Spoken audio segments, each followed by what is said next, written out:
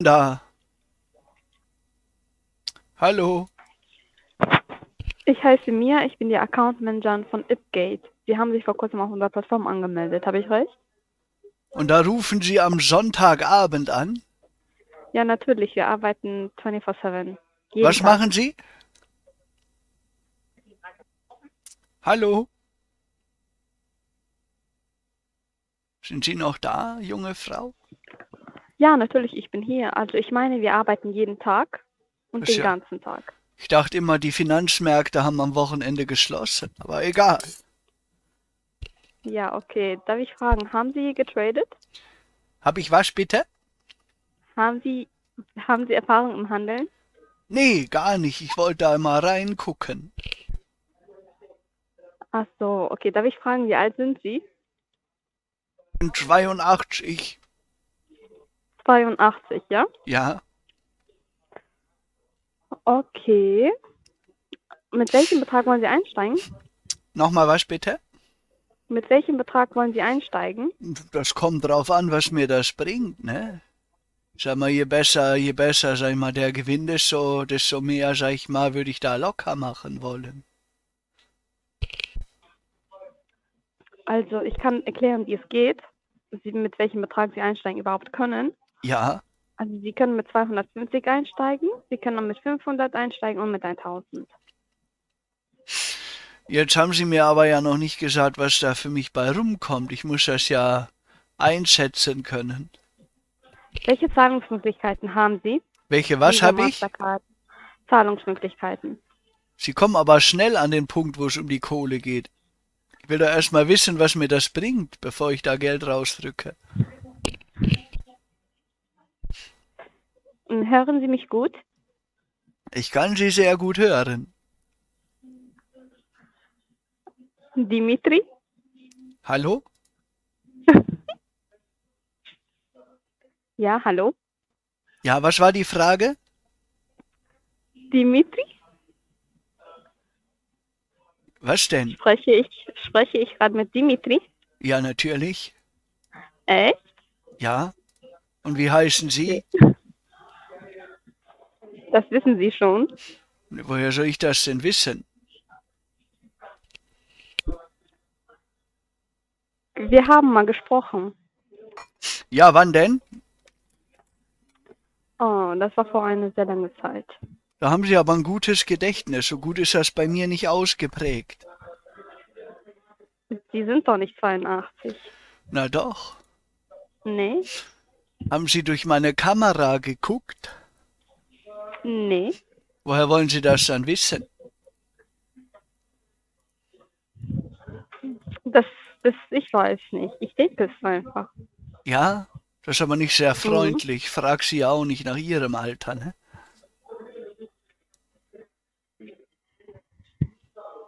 Ist schon ziemlich scheiße, dass man Sonntagabend arbeiten muss, oder? Mhm. Tut mir echt leid für Sie. Vielleicht versuchen Sie es mal mit einer Lehre, einer Ausbildung oder so.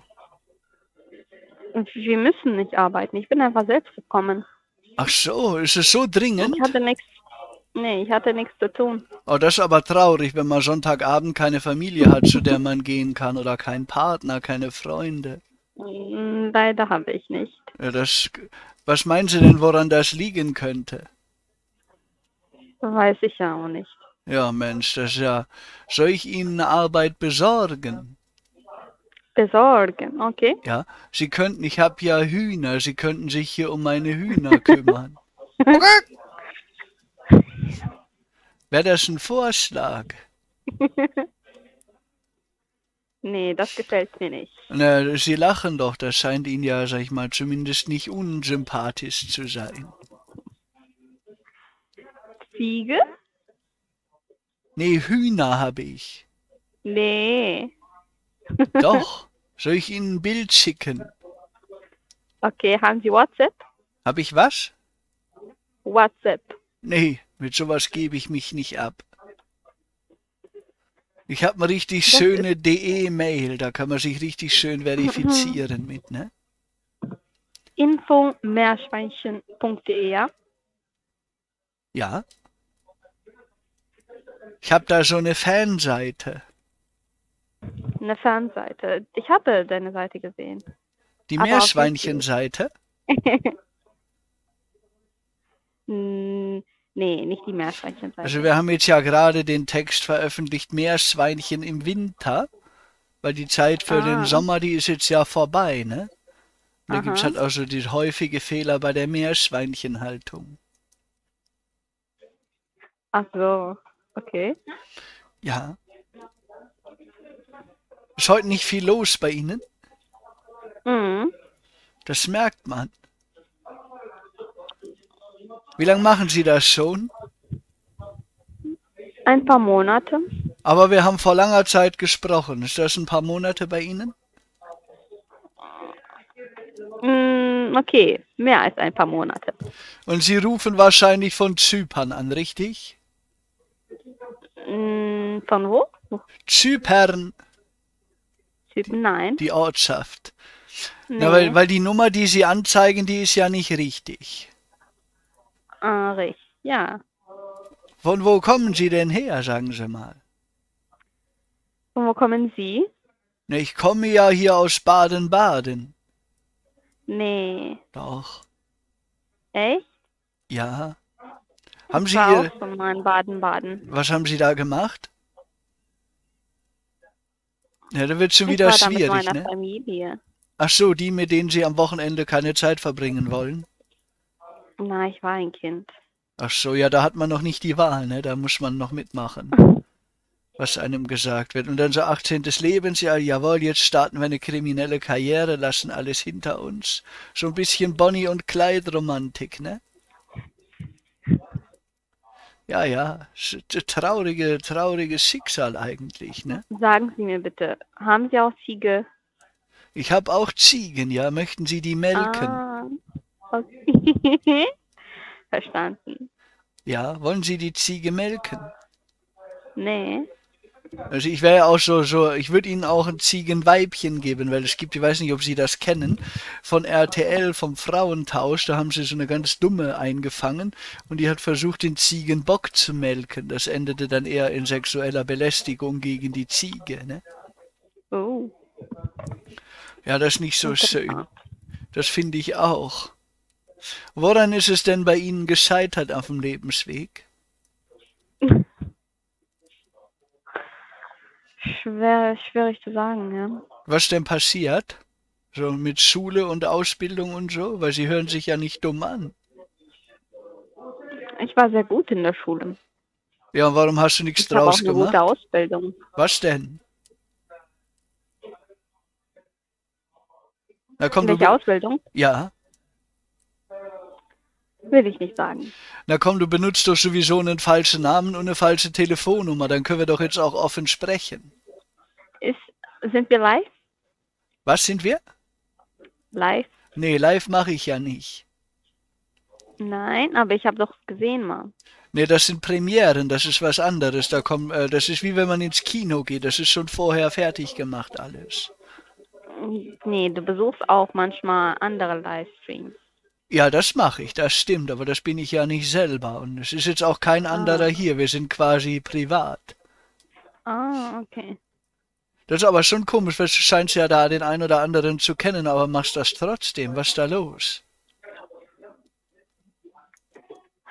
Ist das hier deine Nummer? Ja, natürlich. Natürlich auch eine falsche, genau wie deine, aber ist ja egal. Ah, okay. Ist diese Nummer immer erreichbar? Nee, nur wenn ich sie anschalte. Das ist ja genauso so. wie bei euch. Euch kann man ja auch nicht erreichen, obwohl ihr so eine seriöse Firma seid, ne?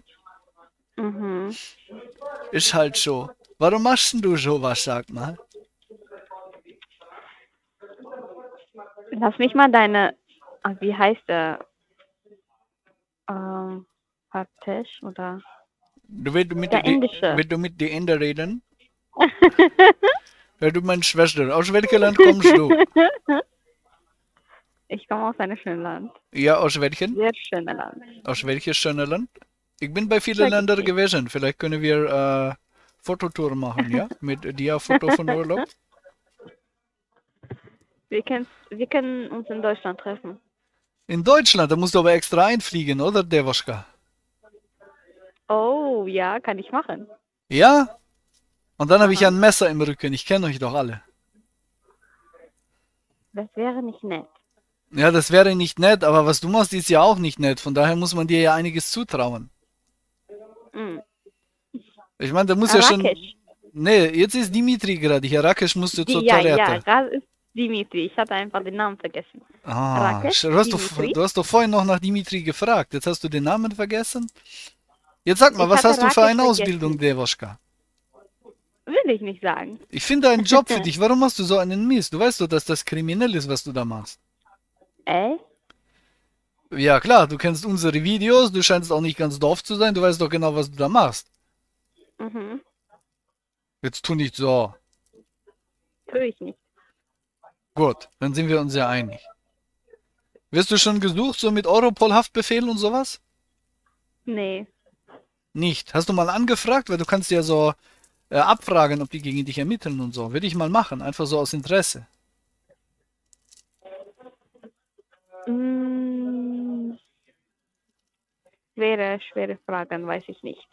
Na, schwere Fragen. Ja, da, das tut, tut mir leid, ich wollte dich nicht überfordern. So, komm, jetzt verkauf mir mal was. Was willst du mir anbieten? Wie viel Prozent? 30 Prozent im Monat oder wie viel gibt's bei euch? Bei uns? Ja, klar. Mhm. Ja, denk, denk dir eine also bei schöne uns Zahl von aus. dem Gewinn, nee, ich sag dir, wie- also wie es geht bei uns. Von dem Gewinn kann der Finanzberater bi- 8% profitieren. Achso, ich, nee, ich meinte eigentlich, wie viel ich verdienen kann, aber danke für die Info.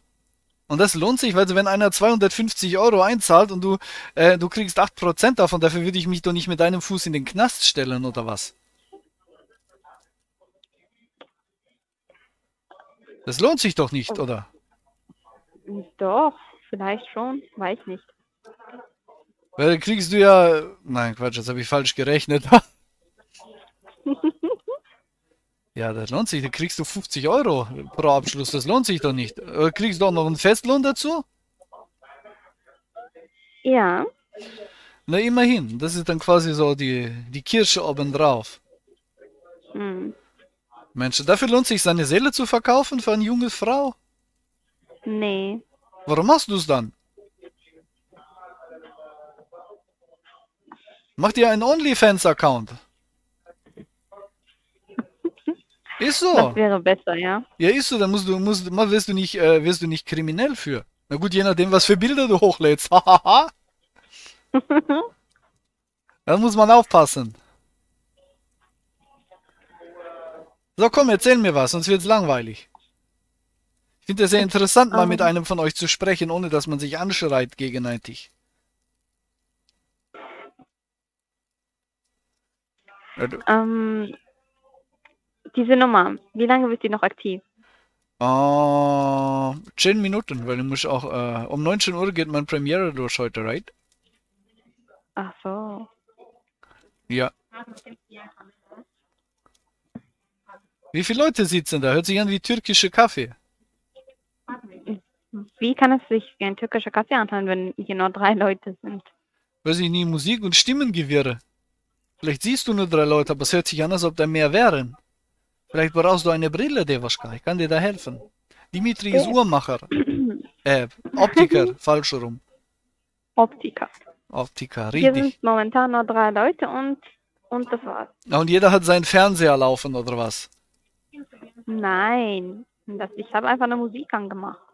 Warte, das, das wäre jetzt auch nochmal eine Frage, die bestimmt, äh, die mich sehr interessiert. Warum läuft in den Bitcoin-Betrüger-Callcentern immer Musik nebenbei? Die Leute von der Gewinnspielmafia machen das nicht. Die Leute von der Kreditkartenmafia machen das nicht. Die Leute, die mit irgendwelchen anderen Verträgen arbeiten, machen das auch nicht. Nur ihr Bitcoin-Figuren macht das. Warum?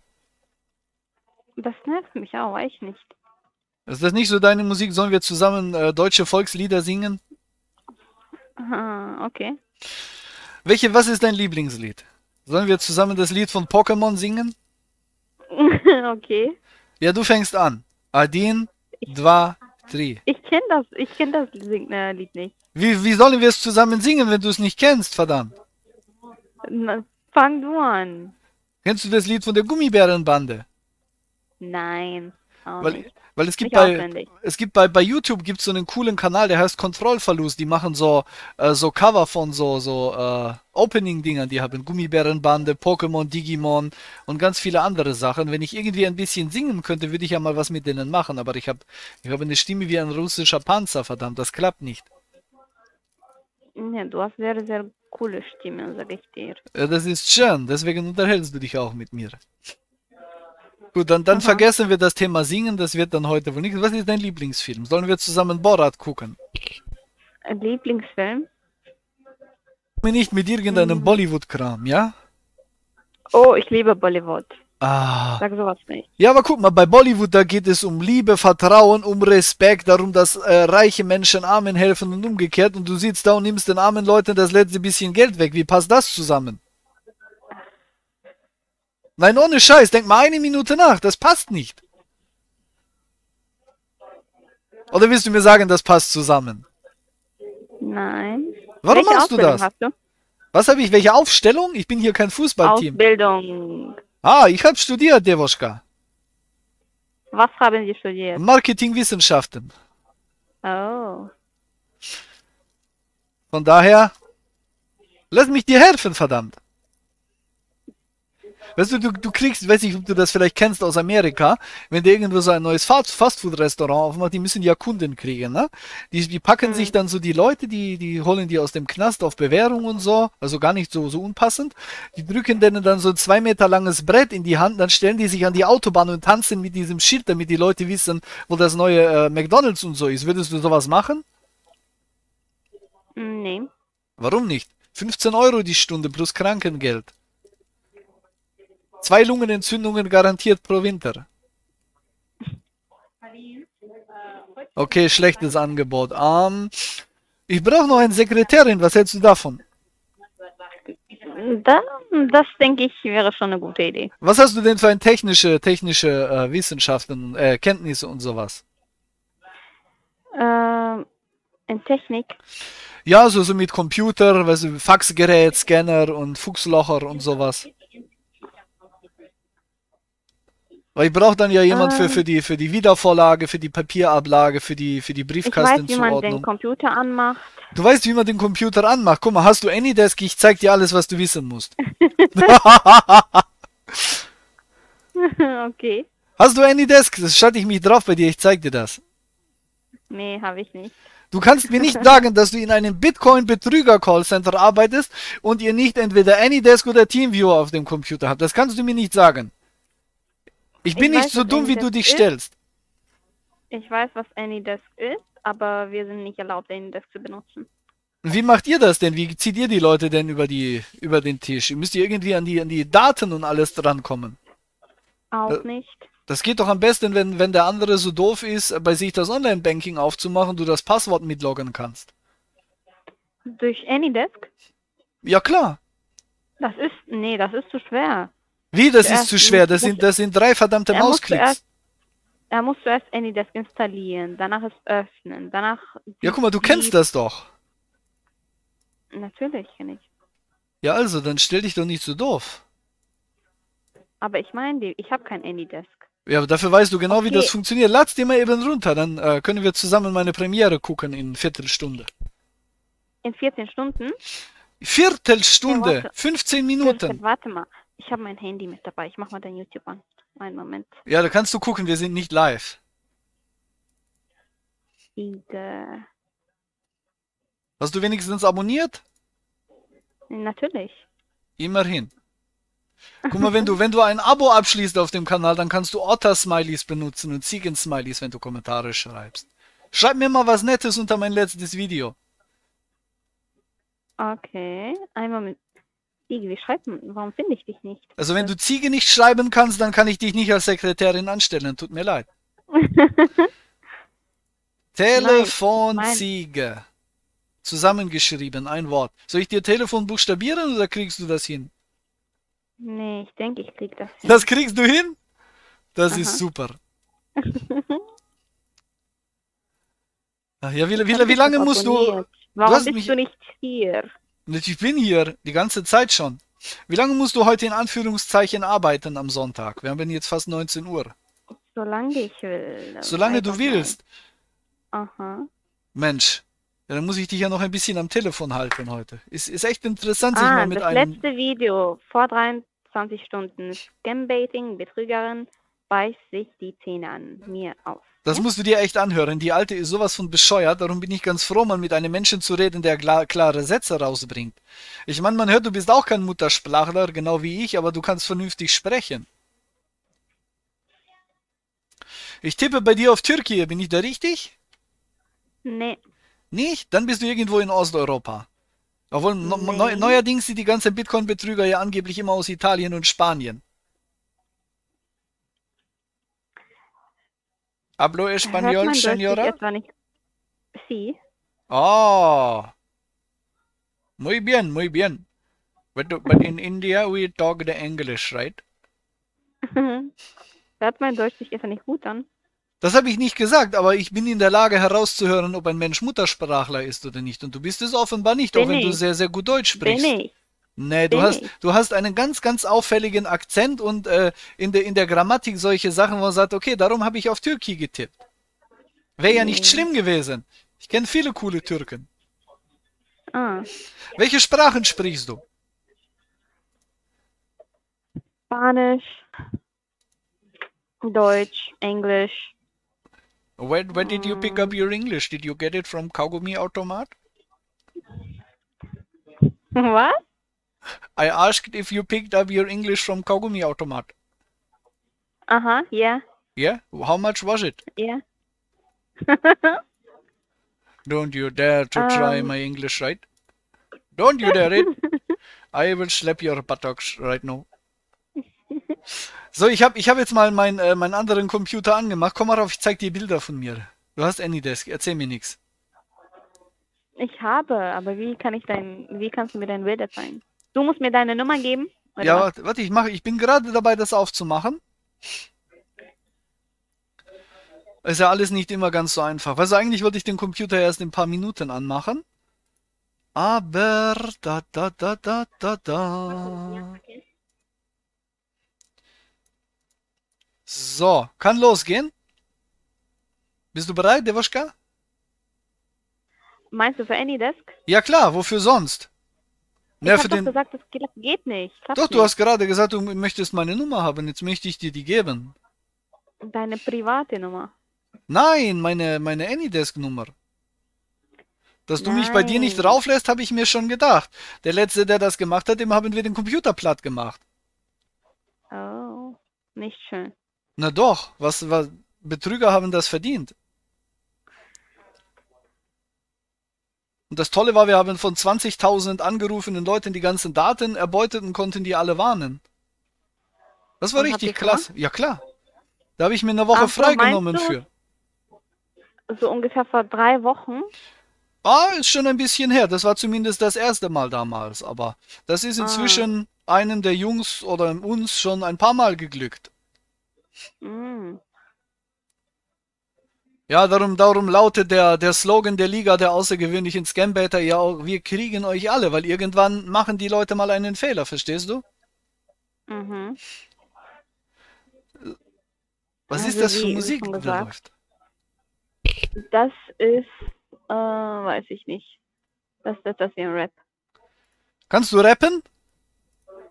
Ja, natürlich. Erzähl mal, mach mal Freestyle.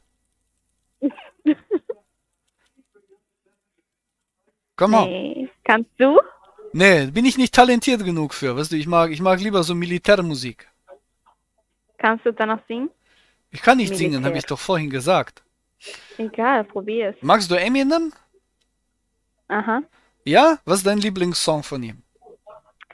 I'm not afraid. Ah, und du würdest dann singen, I'm not afraid of the police, oder was? Kann Ich, sein, wer ich würde ja sagen, äh, don't be afraid to do the right thing und sch äh, schlag das ganze Callcenter kaputt und komm zu uns rüber. Da kannst du auf der guten Seite der Macht arbeiten. Mhm. Also, gib mir die Adresse, ich schick dir Kalaschnikowa.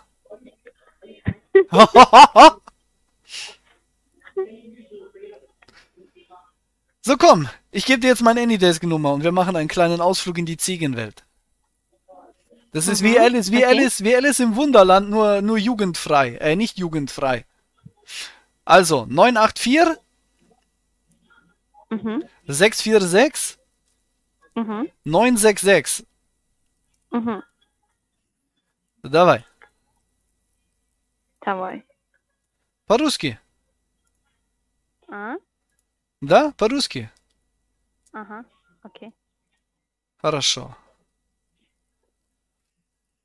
Klappt nicht, Warum klappt das nicht? weil ich kein Anydesk habe. Du bist ein Papiervogel, ein Elender. Hast dreimal gesagt, du verbindest dich. Jetzt hast du das Programm angeblich nicht. Guck mal, ich habe diese Applikation. Die, okay, die Applikation habe ich ja vielleicht. Okay. Aber Ich weiß doch genau, wie das bei euch läuft. Tu, stell dich nicht dümmer, als du dich anhörst manchmal. Ist so. Was wollen wir denn jetzt gleich um, um sieben meine Premiere zusammen gucken? Welche Zeitzone wohnst du? Wie spät ist das bei dir? mh, genauso spät wie in Deutschland Kann ich mir nicht vorstellen. ist aber. Warum ruft mich jetzt die gleiche Nummer von dir nochmal an? Weiß ich nicht.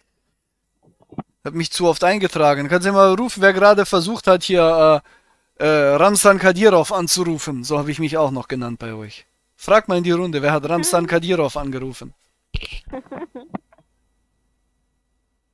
Frag mal kurz. Wem fragen? Na, deine anderen zwei Kollegen, die da angeblich nur sitzen. Einer von den beiden muss mich ja dann angerufen haben, wenn du deine Nummer so, nochmal du kommt. hast dich auf Itgate angemeldet Ich habe mich heute bei 200 Seiten angemeldet ungefähr. und du hast es selbst gemacht, ich. Ja, wer sonst? Also du hast hier kein Affiliate, deswegen. Einen Moment, ich frage mal kurz nach. Ja, Ramsan Kadirov war der Name.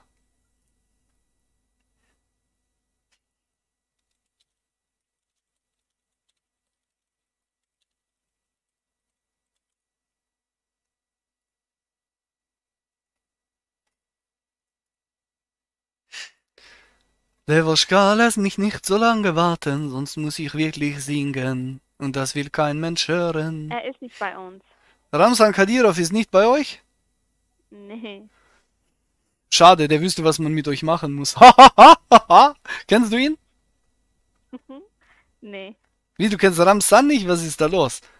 Egal. Doch, ich weiß, wer es ist, aber nicht Wer ist wer ist denn Ramsan Kadirov? Präsident oder sowas. Ja, von Hells Angels, ne? Alexander. Was, was hat die da im Hintergrund gerade gesagt? Penis Adolf? Ja, wie hast du gehört? Ich habe äh, sehr gute Ohren und wir telefonieren und seit hast- einer halben Stunde. Ich habe mich an die, an die Sounds gewöhnt, die bei euch laufen. Weißt du, das ist bei, Okay. bei uns, weißt du, ich bin ja der Herr Maulwurf und ich habe schlechte Augen, aber umso Maulwurf, besser sind die okay. Ohren, verstehst du das? Aha, aha. Ja, ja. Gib mir mal deinen Chef, den muss ich auch noch interviewen. Okay. Einen Moment. Danke.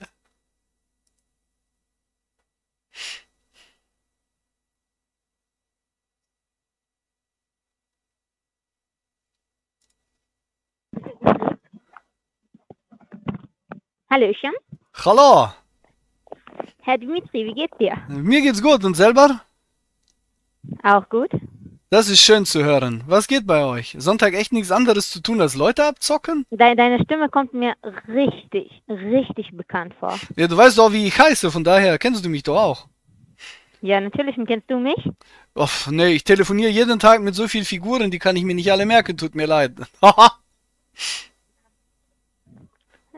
Aber ich bin sehr bekannt. du bist sehr bekannt. Wofür? Natürlich. Stehst du auf der FBI-Terrorliste? Nein, ich habe mit dir schon mal gesprochen. Och, du tut mir leid, ich telefoniere jeden Tag mit so vielen Leuten, das kann ich mir nicht merken. Naja, kein Problem. Welcher hast Anruf war das denn? tun. Vor mehreren Monaten. Vor mehreren Monaten. Wie hieß der denn? Da muss ich noch mal Ja. reinhören. Dass ich weiß, mit wem ich gerade die Ehre habe. Ja, schau mal nach auf deine YouTube-Videos und so. Äh, da sind fast 500 Vielleicht oben, die kann ich jetzt nicht alle wieder nachgucken. Naja, du, du hast so viel freie Zeit, du kannst dir leisten. Nee, du, ich bin den ganzen Tag, weißt du eigentlich, ich bin selbstständiger Schichtarbeiter. Mein ganzer Tag besteht aus Schneiden, Rendern und Hochladen. Das ist harte Arbeit, das kannst du dir gar nicht vorstellen. Parallel kannst du es dann als ein Ton äh, anmachen, anhören, angucken, machen, was du willst und irgendwie finden. Wer sucht, der findet immer alles. Ja, klar, aber in der Zeit, wo ich jetzt gucke, wer du bist und wann wir gesprochen Mhm. haben, in der Zeit kann ich äh, Mhm. wieder zehn Betrüger davon abhalten, alten Leuten das Geld wegzunehmen. Also da sind meine Prioritäten ganz klar. Was macht ihr denn so am Tag für? Wie viele Leute zockt ihr ab in einer Schicht? Hallo? Hallo? Hallo? Ja, jetzt tu nicht so, ich sehe genau, dass die Verbindung perfekt steht, tu nicht so, als ob du mich nicht hören kannst. Hallo? Hallo, gib mir mal den nächsten von euch, dann habe ich mit allen gesprochen. Wie, Ciao, viel, Dmitri. wie viele sitzen da bei euch? Dieses miese Dreckspack. Sonntagabend um kurz vor 19 Uhr rufen sie an und erzählen eine halbe Stunde aus dem Nähkästchen und sind, wie ihr seht, ja total stolz und geil auf das, was sie machen. Kennen die ganzen äh, Kanäle der Liga-Mitglieder, kennen meinen Kanal, wissen spätestens dadurch im Detail genau, was sie da machen, wissen, dass sie Kriminelle und das allerletzte sind, was es menschlich gibt auf diesem Planeten. Und dann wagt diese Atemluftverschwendung, das noch hier anzurufen. Man glaubt es ja nicht. Aber mal wieder ein schöner Einblick, dass man eben sieht, das sind, auch wenn sie sich immer so ausgeben, keine professionellen Trader, was es ja so als Beruf gar nicht gibt. Die haben keine Ehre, keinen Beruf, keine Würde, keine Moral, nichts haben diese Leute. Das sind gescheiterte Existenzen, die sitzen, wo andere Menschen am Sonntagabend äh, mit ihrer Familie zusammensitzen, essen, Brettspiele, was war deine Woche, was machen wir nächste Woche. Da sitzen die in irgendeinem staubigen Callcenter in Izmir und rufen die Leute an und wollen denen die Kohle wegnehmen. Freut euch, Freunde, dass ihr dieses Schicksal nicht habt und tut euren Teil dazu, dass andere dieses Schicksal nicht erleiden, indem ihr sie vor genau solchen Mistköpfen warnt. Ich freue mich auf Kommentare unter diesem Video. Ihr dürft es gerne teilen, um einfach mal der Welt noch zu zeigen, wie dreist diese Mistvögel sind. Vielen Dank.